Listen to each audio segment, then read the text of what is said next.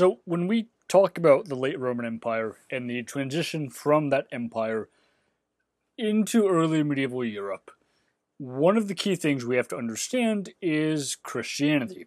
So, Christianity becomes very crucial for understanding the intellectual shift in medieval Europe for war justification and a culture of war in general because we get things like warrior saints, warrior monks, people that are, you know, looked at in Christianity, or the Christianity of this period anyway, as being divine leaders in war.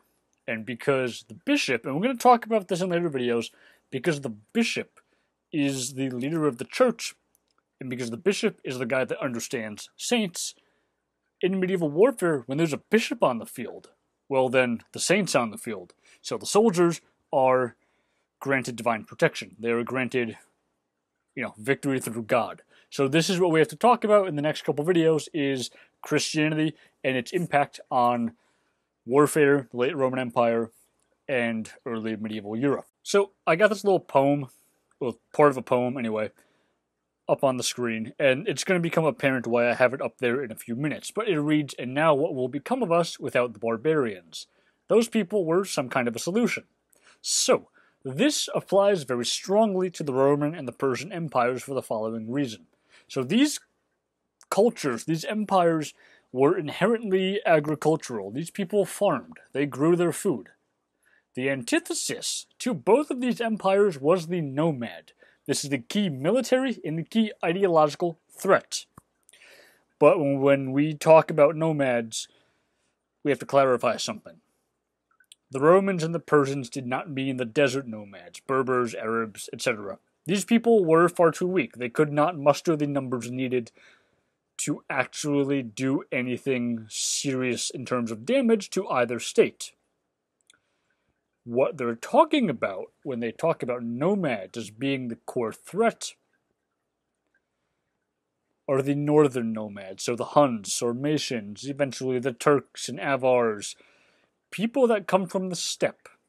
These are the main ideological threat in the late Roman Empire taxes, and it justifies its heavily centralized rule via this ever present threat.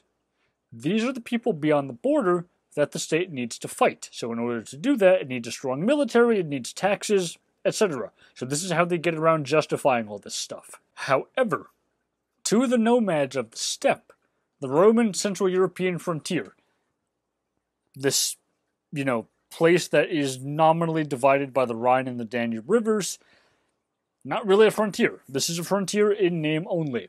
The reality is that the Romans and the Central Europeans have a very, very long very drawn out history of conflict and cooperation. Many of them want to be part of the Roman world, and we see this through the you know, trading of Roman goods. A lot of Roman stuff shows up across that frontier zone. A lot of Germanic goods, not only armor, but pottery, things like that, are crafted in the Roman style. Many, many barbarians, many people living in this area come across the frontier to marry soldiers, stationed in forts. They'd bring their families over to settle farmland, to move into villages, things like that. This is an area that's very, very interconnected. But to the Romans, these are still barbarians. These are still people that to them, they have to justify fighting, like we've been going over. To the steppe nomads, this frontier is not really a frontier. Both sides are green. It's broken only by a handful of rivers. When the Central European people, whatever you want to call them, barbarian or otherwise, when they come under threat by the people from the steppe, they are reminded very clearly and very quickly which cultural side, which zone they're really on, which is the agricultural side, the agricultural zone, so they're on the Roman side. So when attacks by people like the Huns and the Sarmatians happen, these guys want to integrate themselves into the Roman Empire. But this causes a problem. Ostensibly, this can't really happen because to the Romans, these are barbarians. These are the people that exist to justify the Romans' own existence. However, Christianity starts changing this. It's a Eurasian wide religion. This, this faith spreads from the Near East out into what is today Spain, what is today Scotland and Scandinavia, as far east as Central Asia and Siberia. There are many different variants of this thing. Originally, we have you know stuff like Manichaeism, which is a branch of Christianity that develops into its own kind of religion. We have, uh, you know, Catholicism, Greek Orthodoxy. The list is probably endless. Arian Christianity. There are many different varieties, and they're adopted by both the Romans and the Central Europeans. And because they're adopted by them, even though there are different variants of Christianity, the religion unites everybody. So it causes this intellectual shift. The Rhine Danube frontier is no longer the frontier because the people on both sides are Christian. It's not like you're a barbarian and you're a Roman. That divide doesn't exist anymore. Everybody is a Christian, so the population becomes united. So the frontier zone gets pushed.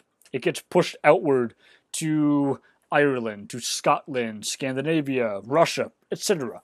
That's where the frontier zone is. So when these people stop being barbarians to the Romans, well, then the justification for the Roman state kind of goes by the wayside. So, what becomes of us now that there are no longer any barbarians?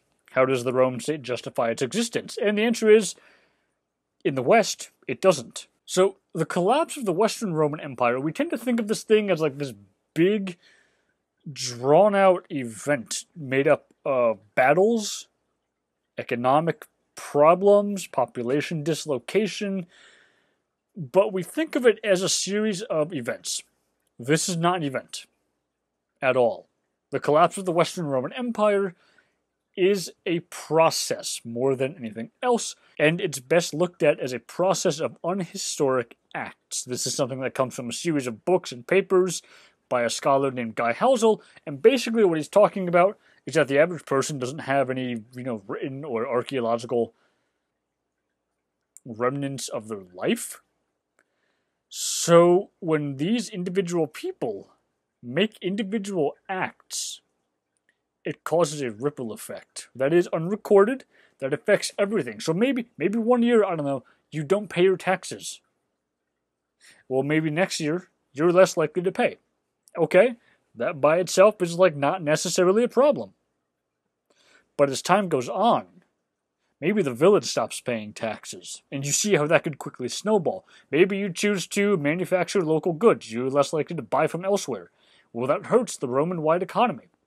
The result is a gradual unweaving of the Roman system. So when it's gone, what survives? And the answer is Christianity and a vague idea of Romanness. So the Central Europeans are newcomers. They typically arrive excluding things like the Gothic migration. They typically appear to have arrived in relatively small numbers. What this means, according to Peter Brown in his book The Rise of Western Christendom, is that this is a victory of what he calls local Romanness. So the empire breaks down. The newcomers, the barbarians, set up their state. But in order to really govern it, they need to work with local aristocrats. So we see the rise of, you know, nominally small local states. This idea of local Roman polities. These people still speak Latin until someone else from another local Roman area, a smaller successor kingdom, comes along and says, Well, no, you don't speak Latin anymore. You speak French, you speak Spanish, you speak insert romance language here. So this is what's going on. So you have this weird blend of culture. Well, what ties these people together? And the answer, among many other things, is Christianity. So that frontier that idea that you have Roman and barbarian begins to break down and it gets pushed out.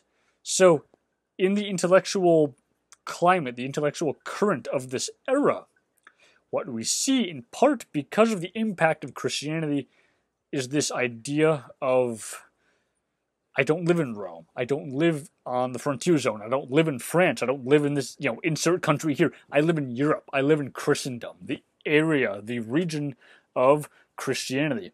So that idea becomes so pervasive that it's going to start impacting how war is conducted and how war is justified. Now, going along with this, to be a soldier in the late Roman Empire ostensibly was to be a barbarian, but it was also to be a Christian. So here we have, you know, again, this blending of Roman ideas, barbarian ideas, military stuff, and Christianity. So we see a fusing of ideas, and warfare becomes backed up intellectually via Christian writings. Hopefully, this has been a fairly broad overview of this thing for you. In the next couple videos, what we're going to be talking about is the shift in Roman and barbarian identity to a nominally Christian one, and the rise of warrior monks, warrior saints, warrior bishops, the role of bishops on the battlefield, how bishops and priests fight, stuff like that. So that's where we're going from here.